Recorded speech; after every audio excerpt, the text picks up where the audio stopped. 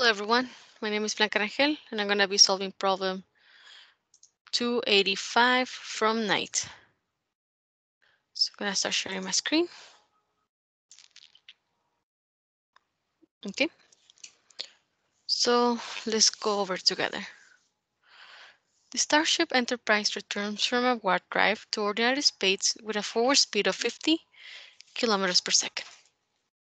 To the crew's great surprise, a Klingon ship is 100 kilometers directly ahead, traveling in the same direction at a mere 20 kilometers per hour per second.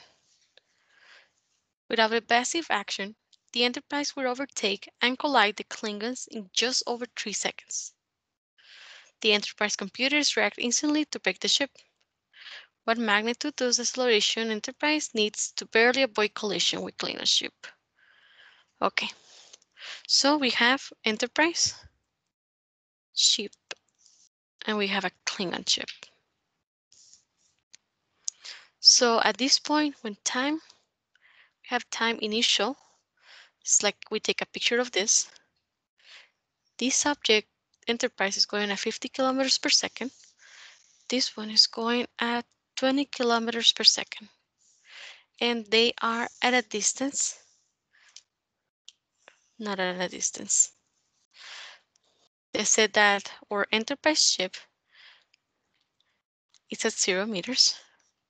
And at this point of time, enterprise Klingon is at 100 meters. Mm -hmm. Okay. So here what we have to understand before solving this problem is what will happen if I'm driving a vehicle at 60 miles per hour. Let's say something that we can all relate. And all of a sudden, the car in front of me is going at 40 miles per hour. And I cannot change lanes. So what do you do? it comes to a point you have to reduce your speed this card is not going to reduce its speed. It's not going to increase or reduce the speed, but you can. So here, if you're this vehicle, I'm going to put here you. You're going to try to make your speed the same to equal or less than 40, so you don't crash the car. So this point of time, your speeds are different. But at this second point in time, you're going to be riding his tail and you're going to have the same speed. So that's one point that we need to understand this problem is that in order to not crash, you need to reduce to the same speed. In that, I'm going to put it as, as terms. So final velocity of enterprise needs to be the same as the niche of the final velocity Klingon. Since Klingon is going to maintain the same speed the whole time, is the initial velocity Klingon. So this is our first clue that the problem is giving us. This is barely avoid collision. So it's going to be riding his tail. So if, if it is going to be riding his tail, it's going to be, they're going to be at a point in time where both are in the same position. Both will be at the same position at the end.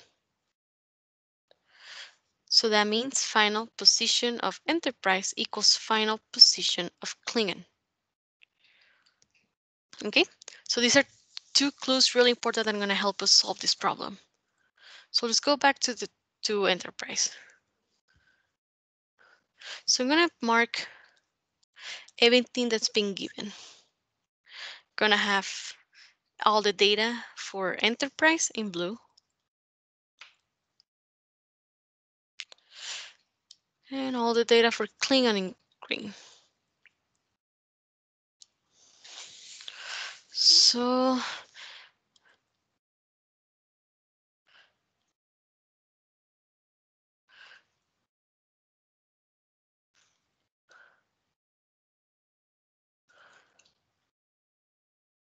Okay.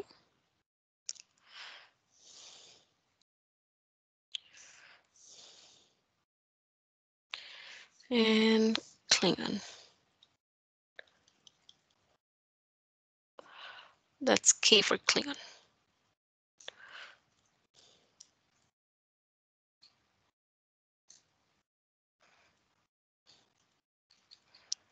Okay, so the Enterprise is gonna start at a position of zero meters. And it's gonna end, we don't know where. The answer is not 100 meters because this car is gonna keep moving too. So Klingon is starting at 100 meters, but we don't know where it's gonna end. But we know that they both are gonna end at the same time, at the same point. Initial velocity is 50 kilometers per second. This one is 20 kilometers per second. The final velocity of Enterprise, we don't know. Oh, wait, we do. Final velocity of Enterprise, it's going to be the same as initial velocity. It's going to be 20 kilometers per second. And final velocity Klingon is 20 kilometers per second. It's going to remain the same. So acceleration, we don't know. Time that it takes to stop, we don't know it. Acceleration for Klingon, zero. Time that it stops, we don't know. But we know it's the same time. Since time, all of this is happening exactly the same time, we only need one variable for time. Okay. So we're looking for final position enterprise equals final position Klingon. We're looking for acceleration enterprise. And we don't have time. So let's look at our kinematic equations.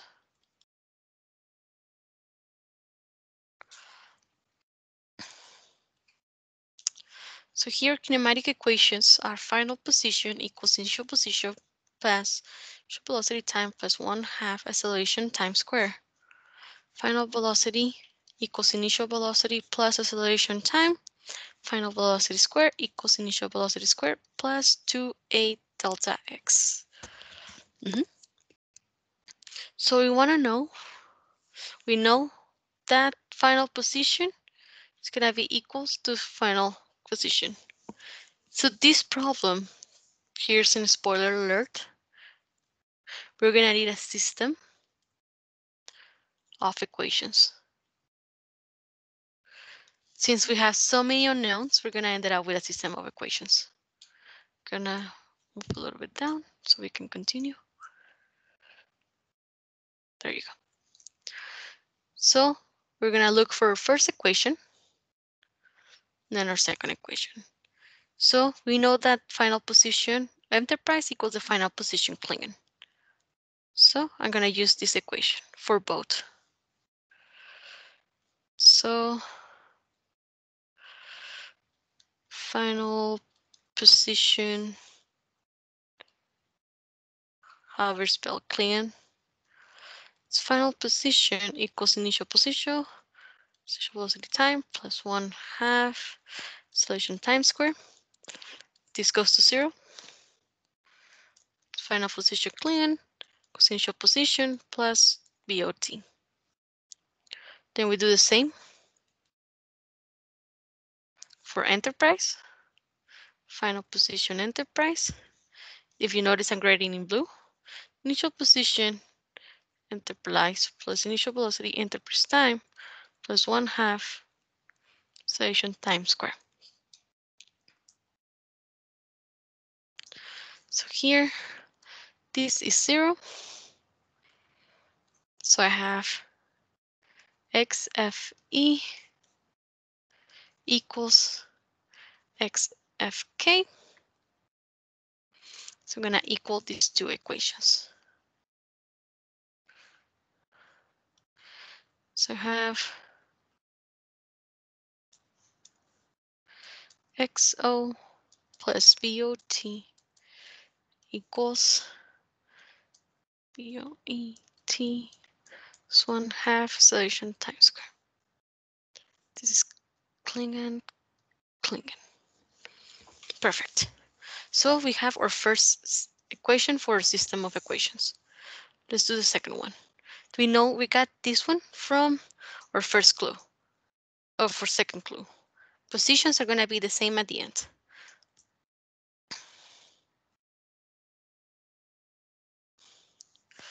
For the second clue, we're going to use this equation. So we know that I'm going to use blue for Klingon. Velocities are the same.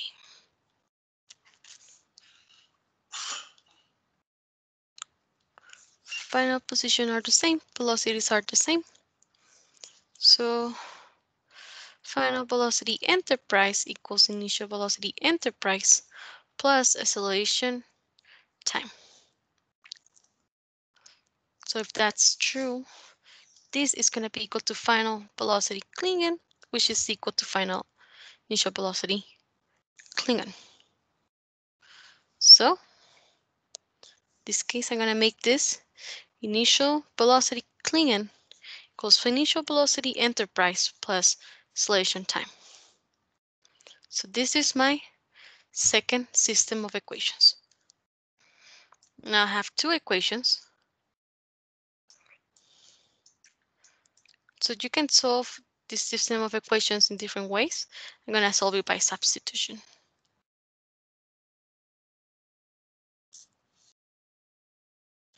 So I'm going to take the equation two, substitute uh, solve for time. So that's BOK minus BOE over acceleration equals time and substitute this definition of time in this equation. I'm going to solve for this number so that way is I can simplify it better. So I have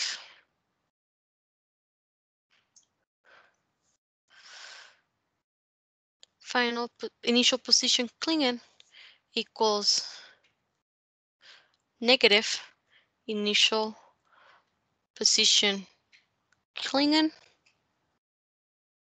initial velocity Klingon times time, plus initial velocity enterprise times time, plus one half acceleration times square.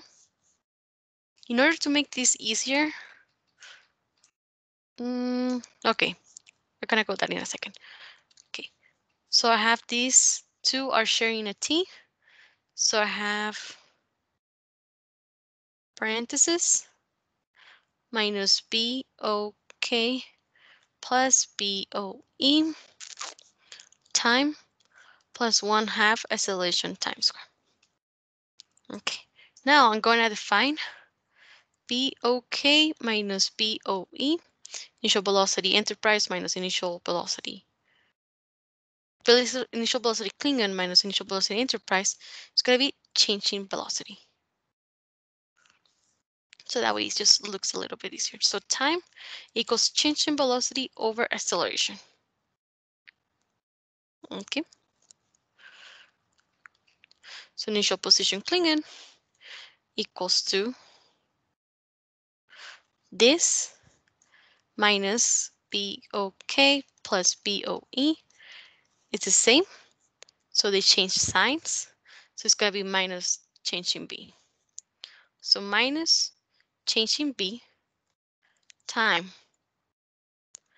And we said that time is changing time over acceleration, changing time, changing velocity over acceleration plus one half acceleration, changing velocity over acceleration squared. So we get rid of time. Now we can solve for the rest of the variables. So, okay. So these two are going to multiply minus. So minus delta, delta velocity square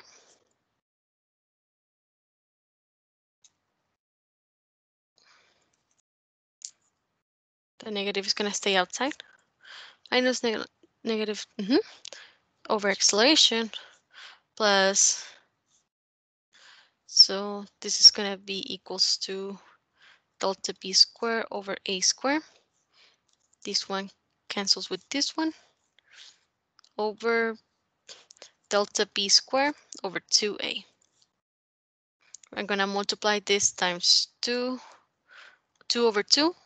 So 2 over 2 equals 1. So I'm not changing the equation. So I'm going to have 2 minus 2 delta b square over 2a plus delta b square over 2a. Same denominator, I can add them together. So I'm going to have minus delta b square over 2a. If I change this back, it's going to be minus b ok minus boe square over 2a. So this is our solved system of equations. And now we only have to solve a problem and find acceleration. Find acceleration. We technically find an equation where we have all of the variables that they give us. So we can solve this problem. I'm gonna uh, I'm going to multiply times 2 times a on both sides and divide by xok on both sides.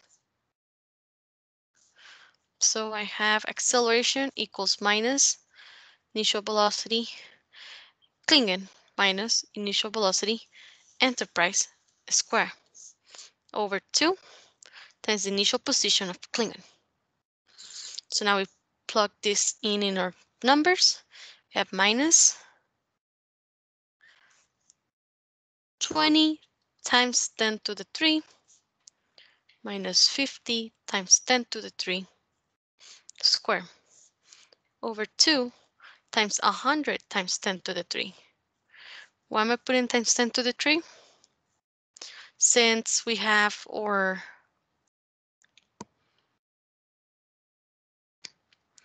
since we have that there are 50 kilometers per second, the suffix kilo, K, stands for a thousand or 10 to the 3. Okay, going back. So we have acceleration equals to minus 1000 kilometers per second square or minus, oops, this is meters per second or minus 4.5 kilometers per second square.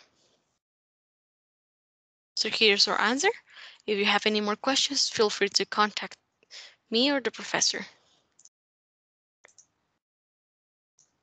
Thank you.